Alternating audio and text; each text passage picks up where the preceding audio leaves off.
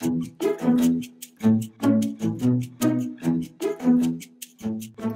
to Be a Supervillain is a children's book by Michael Fry.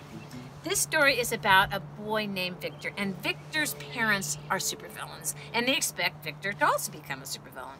The thing is, Victor's not doing the things they think he should be doing to become a supervillain, so they send him off to apprentice with this supervillain called the Smear and hope that Uh, this is a really funny book. It's got um, lots of great drawings in it that do a great job of capturing what's going on in the book, and they also add a lot to the humor in the book. My favorite character is the supervillain, the Smear. I mean, his superpower is to stain things, which I thought was super funny.